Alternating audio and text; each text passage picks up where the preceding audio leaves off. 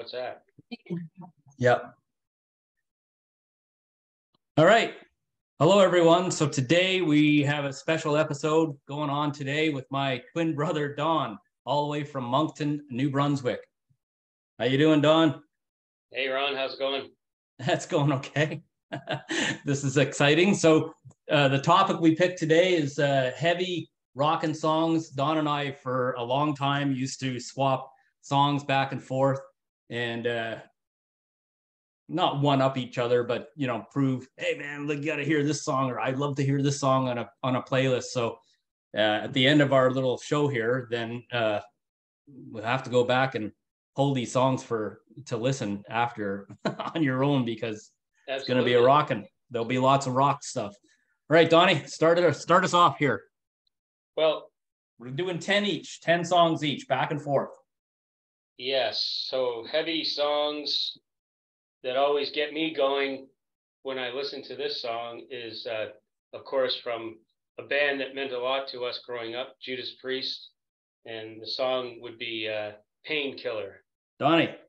Yeah, it's, it, yeah, those guys, Painkiller, uh, you know, not only musically, these guys were the best, but the vocals the lead singer, as everyone knows, is considered in a lot of circles as probably the best metal singer ever, in my opinion. So yeah, Painkiller would be my number one pick. Nice. Tough to beat that. Okay. Guess what? My number one pick. Screaming for Vengeance from this album. Probably Yeah. That song. It, title it, song. Yeah. Maybe the most played album that we ever had as kids growing up. Yeah. Yeah, I mean, well, it's up there, isn't it? For sure. Yeah, it is. It's up there. Yeah, this is I've had this puppy for a long time. Look at that. I like a I like a bunch of songs on this, but Screaming for Vengeance is the one. It is. So Priest Priest. Priest Priest. What next? Well, we're twins, so everything is duplicated. That's true. so for me, I guess the next, uh, and maybe probably my favorite band, if you said you get to pick one band, what's your favorite band? For me, it's Iron Maiden, and The Trooper is is the song for me. Gets it gets you going. It's it's super high energy, and Dickinson is the man for sure. Yeah. Okay. That's a good choice. So I, I really dug into my obviously with me, I'm all about I only list I don't know you listen to stuff, stream stuff, is that right? Uh some. I mean uh some. There's, okay, well as you know with me it's all about what I own, it, it, what's in my collection. I don't stray I listen to the radio, I look at some YouTube uh stuff, but that's it. So gleaming my collection for for days to talk to you and that. So my second pick is Black Sabbath from this album, Born Again, which is not an album most people even think of, right? No. But the song that I'm picking and throwing at you here is called Digital Bitch, and it's a wicked song. So this yeah, I, I like this album actually. I like this album. This is Ian Gillan singing on this album. So yeah, and that's one of the reasons why I, wouldn't have picked that because to me, Black Sabbath is the original heavy metal band, and Ozzy is the original heavy metal singer. So I mean, I I respect and totally get it, but it's just not my thing. Yeah, yeah. I saw that tour at Maple Leaf Gardens. I don't remember who was with me or whatever. Um, but that's the tour I saw. Quiet Riot opened that show. Yeah, I think I was at the same show, wasn't I? Uh, maybe. Twisted, wasn't Twisted Sister also on the bill? Might have been. Yeah, such a long time. Twisted Sister, Quiet Riot, and uh, then Sabbath. And Twisted Sister, all the, all Dee Snider did was get up there and yell profanities at the crowd. It's I don't crazy. know, man. It's I I have trouble remembering a lot of our old stuff from way back. yeah, I'm pretty sure that was the lineup. And I mean, yeah, you'll see what Quiet Riot means to me later on. All right. Hit me. I guess number three for me, uh, I don't know if it's considered metal or not. Definitely hard rock. Uh, Van Halen, Eruption. All right. Yeah. You know, like, but the first Van Halen song or album is just chock full of heavy, heavy tunes. Yeah, for sure it is. A hundred percent. A hundred percent. Yeah. So obviously my next pick, and just for those watching, you're gonna be like, these guys, well, we're, you know, we're of the age, this is our stuff, right? I mean, the stuff that we grew up on is still the most stuff. Like if you said, okay, you and me are gonna throw this stuff back at each other, obviously, right? I mean, that's what we're gonna do. and these bands are still touring for a reason. Yeah. The song from this that I love that I would say, okay, we're gonna listen to a hard, a fast song, a really fast. It's it's not so much hard and heavy, but fast as back in the village. I love that song. It's so It's- fast. Yeah. It's a great This is my favorite. This is my favorite Maiden record, but it's close between this and Piece of Mind. It's really close. So Yeah. They're excellent albums. yeah. All right, you're up. Uh, you know, all the bands that we grew up listening to, I still listen to, and but I did I did accept some of the newer heavy metal bands as well, Yeah. and uh, I like a band called Pantera, and they have Okay. a song called Electric Funeral. It's Nice. just a it's, it's a really cool tune, and it's a heavy band, obviously, and uh, yeah, I like that a lot. So you want to hear something, Don? They're not a band I've ever really even listened to. No, and I kind of fell into it by listening. I kind of got into the uh, Megadeth and all that stuff for a little while, and and that was one of the bands. So I think that um I don't know when when those bands were really erupting and getting huge. I was for a while there. I stepped out of the hard rock stuff and I was into like my I don't know my '80s music and stuff like that. Whatever. Um, so I I just they it never grabbed me. I mean, I at work a bunch of younger dudes that are into this kind of heavy music are just Yeah. you know massive fans of those bands, obviously. And Yeah. you know, Pantera reuniting you know, it's a major buzz. They're playing at Bud Stage this summer, and some people are going bonkers over this. Oh, But it's a real split, right? Because some people have a big problem with them getting back together. So yeah, no, I mean, and there's a lot of new bands, new metal bands now that are really good, but really all sound the same. And I find like that that time frame of Pantera and maybe even Megadeth early on, those bands like they kind of duplicated each other's sound and they were all amazing musicians. But if you listen to one, you kind of you heard the other guy too, you know what I mean? And Yeah. some of these new metal bands now, they just they like this halo effect in these other ones. Uh, LA Guns is another one. They sound the same.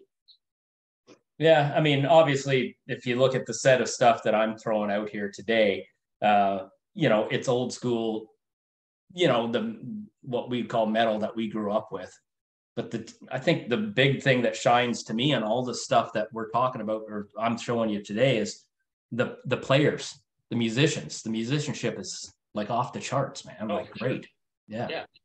Yeah, and I'll cut in now because I told you I would bring this up, but I work with some guys that are in a metal band and they have distorted vocals. So you can't understand lyrically what is being Okay, so I've heard. So I've been I've been watching. Uh, you probably wonder why are you doing this stuff, Don, or, or Ron, why are you doing these videos, Ron? And it's I started watching a lot of YouTube videos. Sea of Tranquility, guy named Norman Maslov, um, Noble Records, and some of these guys talk with some shows about some really heavy stuff.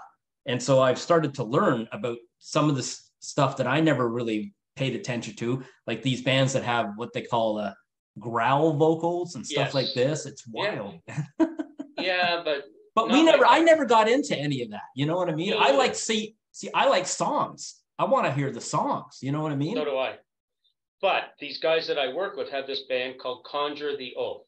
It's worth checking out because musically, if you could just like replace the the singer with a lyrical guy, they actually write words too. Like, but you can't understand what they're saying. But the su- the the music is amazing. And when I act, when I talk to them about music, who influences them, and you think like really like underground hardcore stuff. No, um, like Rush, huge because they're musically advanced players. They just, for some reason, they think that this is the genre that they that you know they're gonna make it, and and I and I'm telling them like, sorry, it's not. Like people need to be able to relate to the song and and sing it. Yeah, like That's this my this opinion. yeah, this one uh YouTube channel I watch, Sea of Tranquility, they have some shows.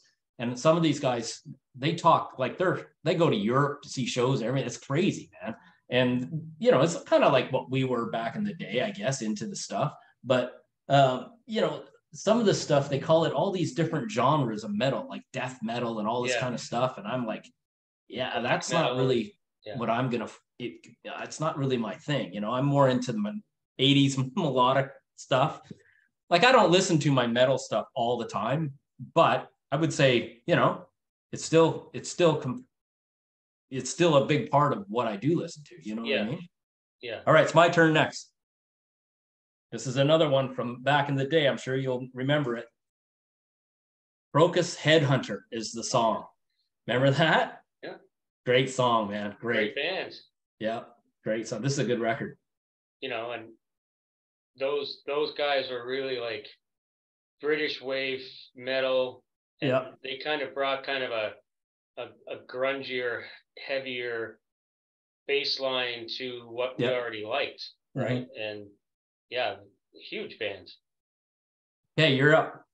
Um, I'm going to stay in the same vein because uh, it, it's an important time for me too, and I'll, I'll pick uh, Megadeth.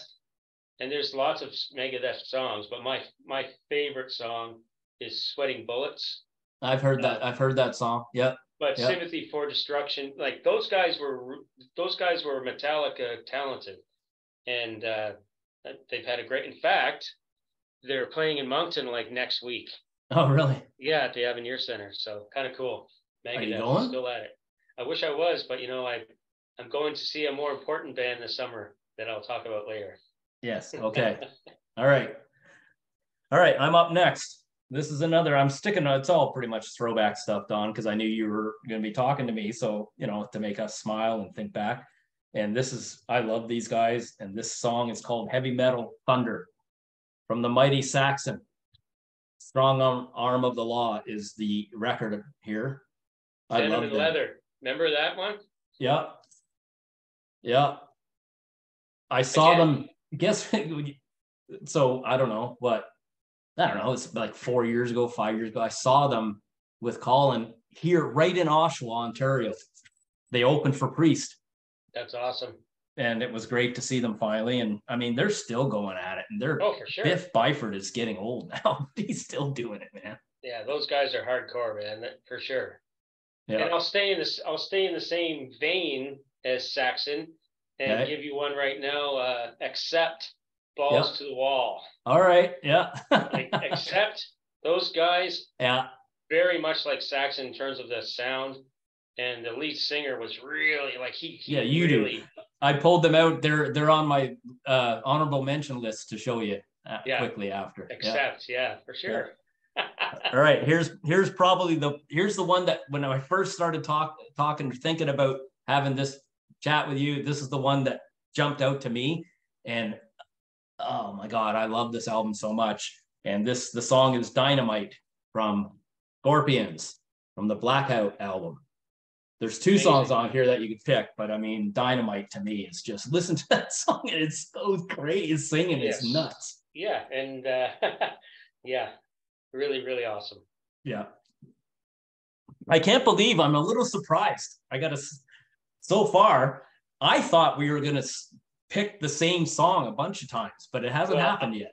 I have two songs picked from every band that I was going to talk about because I thought we would duplicate songs. I, I, I pulled out some spares just in case. Yeah. uh, my, my next pick will be uh, Metallica. I knew you were going to pick Metallica. That's why I didn't pick any Metallica. I like, so you'll, you'll have to fill me in because I know you're more of a Metallica guy than me. I, I you know, I don't pretend. I love the new record though. No, like yes, it? yes, freaking yes. fantastic. Those guys the, don't sell out. Like, and they, when they put a record together, um, it it's it's professionally done, obviously, and all of the guys in the band have an equal part in putting the songs together. It's pretty cool.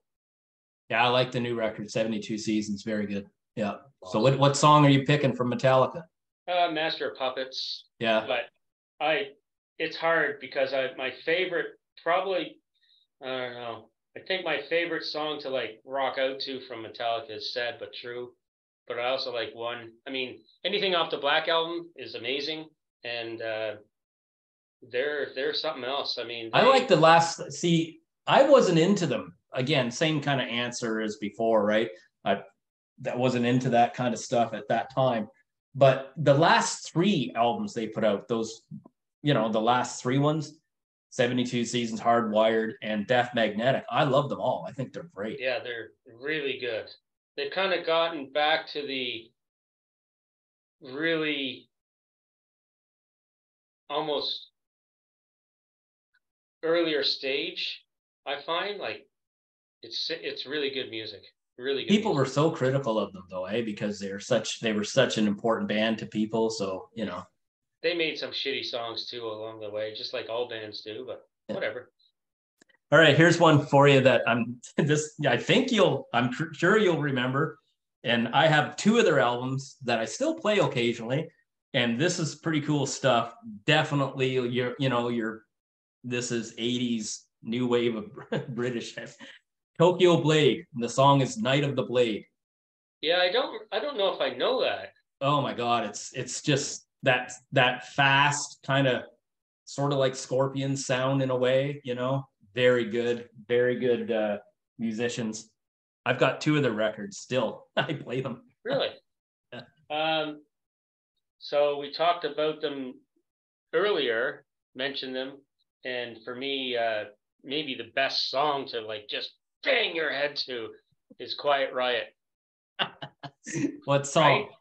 Right? Uh, Metal Health for sure. Yeah. It's yeah. it's so awesome, man. Yeah.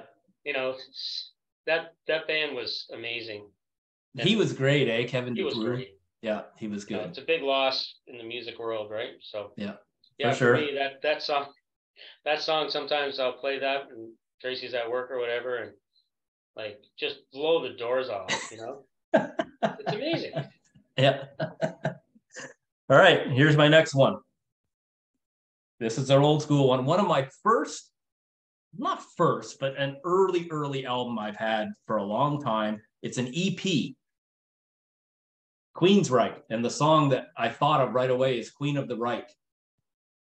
Great it's, band you, you can see that my my um definitely if you look at my stuff don the taste uh, i have a certain flavor of it it's very melodic um higher kind of sounding higher register vocals uh wicked musicianship these guys are sort of like the you know the precursor to what you would call progressive metal so a lot of these progressive metal bands these are the guys that were doing that stuff before oh, then. these bands now try to copycat this band because this yeah. band was the best yeah like, yeah seriously, the singer is off the I, charts. I saw them, Don, at Bud Stage. This is, oh, geez, got to be seven years ago at least with Colin, finally. And they opened for Scorpions. And it was one of my favorite shows that I've seen. Yeah.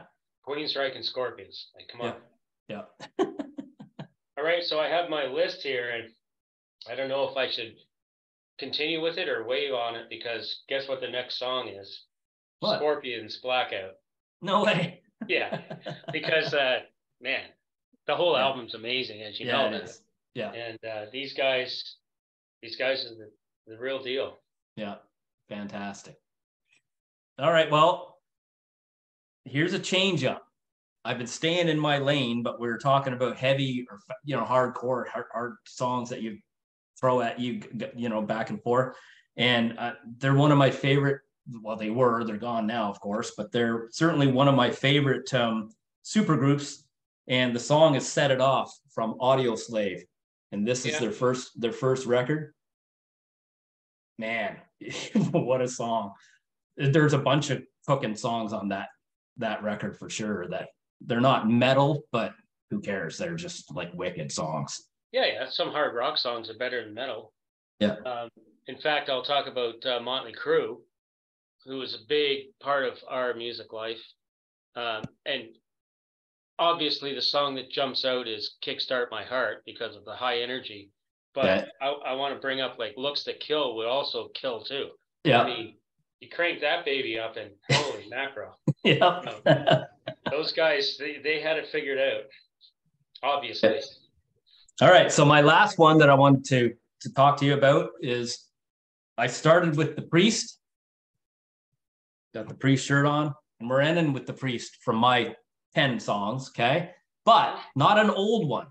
The last two newer priest albums are just wicked good, like really good. And the one that I really like is the an album called Redeemer of Souls. And the song is Halls of Valhalla. And if you haven't heard this song, holy mackerel, they've got some songs on this record that are just wicked. I mean, look at the artwork on this record. Yeah, a band like that just gets better and better every album out, right? And they were amazing to begin with. So think where they Yeah. at, where they're Yeah. at now. It's it's kind of not even fair. Um, how many right. songs is that? Did we do it? We did it, but do you have any other honorable mentions you want to toss out here? Yeah, I do. Uh, one one and, and it's not a metal band at all. Uh, but the song in itself is blow you away, and that's "Run" from Foo Fighters. Yeah. Okay. Yeah. I love that song. I play it like crazy. Yeah. I love the and I love the band, obviously. I was just talking to that to a buddy at, at work. We talk music a little bit, and we were just talking uh, at work uh, last week. I think it was about when I did my Foo Fighters show, and we were talking about that very song, actually. Yeah. Yeah. it's it's something else. It's great. And um and Dave Grohl obviously came from the grunge era with Nirvana, and that that that era turned out some really amazing bands, as you know, obviously. Yeah. And uh, you know, that's another show all, all in itself. But some of those bands put out some kick-ass songs too, right? Yeah. Like even smells like Teen Spirit. That thing cranked up is that's killer for sure. Oh sure. yeah. Yeah. And uh, another one I want to talk about is uh, obviously the original metal band Black Sabbath. And I mean, I could pick a million songs, but for me, War Pigs and Paranoid are the two that I would, you know, Yeah. select and, and Yeah. play them. Yeah. Okay. I got some honorable mentions I'll toss out at you. Can't we can't go without mentioning Motorhead, Ace of Spades. Of course. Okay. Um, we can't really go, and this was on my first my 10 list, but you know, I thought, okay, well, to be fair, it's not like it's like as high up to me as importance, but uh, a little Canadian band that's been around for geez, a long time. One of the one of the originals of the genre, really. Anvil, metal on metal. Amazing. Yeah. Um, I also pulled out, you're gonna laugh at this. Accept the song Fast as a Shark. That's a good song. And to go along with your point about uh, it's not this is this is one here the last one i'll show that isn't a traditional metal band but um they're kick-ass that's for sure. They just got into the rock and roll hall of fame actually which is the only one that made me smile from that list that got presented. Rage against the machine bulls on parade but Yep. they've got a few songs on this. This is a, a, a live cd they've got a few songs on this that is yeah Well, if you have a party, if you have a party and people are kind of standing around just sipping their drinks, and you throw on "Killing in the Name," guess Yeah. what? They're not sipping their drinks anymore. The roof's coming off. yeah for sure so tell me what's uh we you know you don't you and i are both we don't go to as many shows but what shows do you have lined up at all You've got Yes, the big so, one uh, right This summer, August fifth, outdoor concert in Moncton here is Guns N' Roses. oh it's uh, august 5th that's coming yeah. up before you know it yeah and Tracy and I are going, obviously, because it's a bucket list band for me.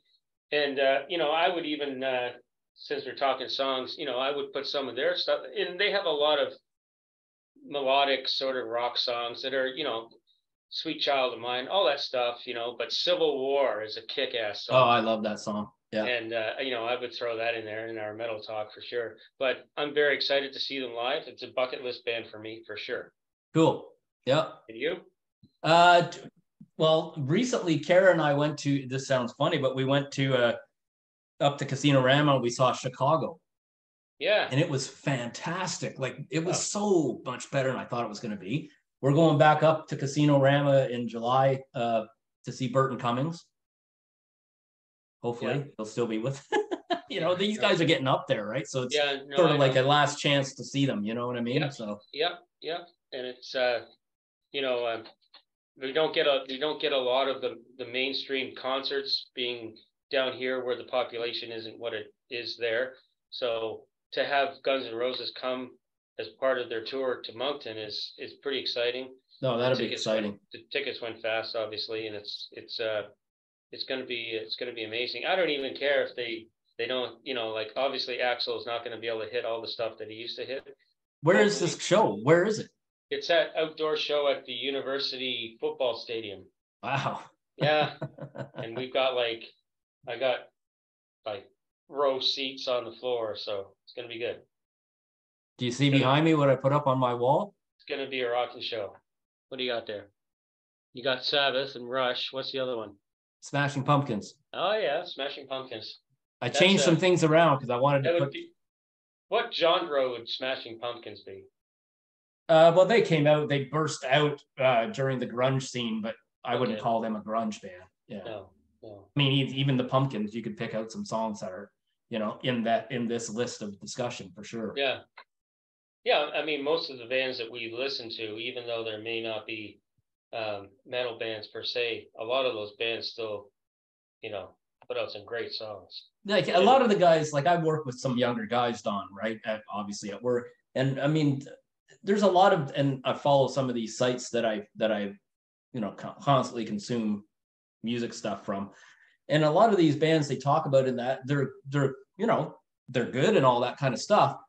But i'm a song person and i like to be able to sing along to the songs remember the songs you know sing in the car you know whatever and the music on a lot of these harder edge stuff it's it's crunching it's good and all that stuff but you got to have the songs that a person can sing to you know i mean Yeah, no, I agree. I agree. A lot of it is just hammering, you know, the me- hammering the sound at you, but there's no there's no memory to the song at all. So yeah, I Yep. agree. I like to and that's why I love Maiden because they they write songs that are heavy and fast, but you can still understand what they're saying and they have a story and you know like the whole thing. i went through i took my time for this list here and and uh there's one particular band that you and i both grew up with that didn't quite get into my list because i wouldn't call them hard enough or or whatever metal in this kind of discussion and that's acdc but they had a couple of songs that i was like uh, they're right there, you know, Brain Shake, Landslide from that Flick of the Switch album, which was their heaviest album, but you know, whatever, right? I mean, yeah, No, I agree. And you know, I would never call ACDC a metal band, but there's a No. lot of these bands, you know, yeah, uh, I guess if you want to label them, they're metal, sure, But but I would take some of ACDC songs like Squealer up against any metal band sure, yeah, and they'd hold their own, you know. yeah, absolutely. You know, What's up for the rest of the day? Maybe my third favorite band overall would be ACDC. Yeah, Maiden, Van Halen, and then ACDC. That's Very my good. choice. Yeah. nice, yeah. What But do you got up do the like- rest? I do listen to a lot more Metallica than probably you do. Oh yeah, I think you do for sure. I'm just, yeah, I'm I'm sort of enjoying their new stuff more. Yeah, it's You good. know? What's up for the rest of the day? Uh, well, I'll probably take Tracy out for dinner Nice. and uh, play some heavy songs after maybe. Use this as our playlist. Yeah. Absolutely. It's a good one. Yep. Okay. Well, listen. Thanks a lot for doing this with me. It's nice to me. nice to uh, to see you. So, are you digging this little thing I'm doing? I am. I am. I'm looking forward to, uh, and I'm, you know, I don't want to put any ideas in your ear. However, I got a list already, man. Go ahead. I'm sure you do, but I I know you you looked at. I've texted you a couple of list ideas recently. Great cover songs, grunge, um, one-off songs. You know, there's all kinds of interesting yeah. and fun topics that I'm sure you're going to get into. Oh yeah. But it's it's great because uh, I don't even know what life would be like without music. So I'm glad that. Yeah, yeah. You and me. This is what uh, what we we've always done. You know what I mean? I and I'm still I'm still clinging to my old school physical stuff. I love my physical stuff, my records and my CDs, and I still listen to the radio too. But you know, other than watching these shows on YouTube or searching out a song if they mention it, I don't stream anything. But well, whatever. You know. Tracy was away, and I had her vehicle for 10 days or whatever. And I, I got spoiled because I was listening to Sirius XM Ozzy's Boneyard for two weeks straight. And did you uh, like it? Love it. And, yeah. You know, they play, they play a lot of the mainstream heavy rock, but they also play some not as popular heavy rock. And that's fun too. The B side oftentimes is, you know, really good. And yep. Uh, yep. I understand that bands have to pay the bills and they have to have the popular songs and all that stuff. But Ozzy's Boneyard, they they play uh, they play some stuff that you know you might not ever hear. So yeah, yeah, absolutely. I enjoyed that. Yeah, I uh, probably. Oh man, it's got to be two decades at least when they when it became popular in a vehicle. But when I bought my car, one of the main things I was looking for is a CD player. It had to have it because nowadays most modern cars don't, but this right. my Golf does. And uh, my daily routine hasn't changed. I for decades now, a couple of decades. Every day I pick out my ride along for the day. And if I hear something on the radio or a chat with somebody or someone says something and it goes, oh, I'm going to listen to that band, I go in my CD collection and that's my ride along for the day. I've been doing it forever. Fun. That's why it's fun to do uh, lists and stuff because it kind of provoke it kind of you know gets you listening to other stuff that maybe you know you go to the same stuff all the time. And if if you have a list that you're hey i want to listen to this list or whatever some idea like you said um, it steers you in a different direction. You listen yeah maybe you wouldn't you for know. a while there don i was really buying up some albums like vinyl records again. And i love my vinyl records but they're expensive and you know i only have certain budget so um, recently i started buying cds again but my my kick with cds and i'll focus on that at some point but i've got an, quite a collection now of cds i like to buy cds that are greatest hits because you can get like a lot of the best songs on a cd you know what I mean? So that's what I like to that's do. another show for you right there. The best greatest hits albums ever. Yeah. Oh yeah, for sure. Right? Yeah. Yeah. All right. Go and enjoy the rest of your day. Thanks All for right. doing this. Thanks for having me. All right, buddy. See you later.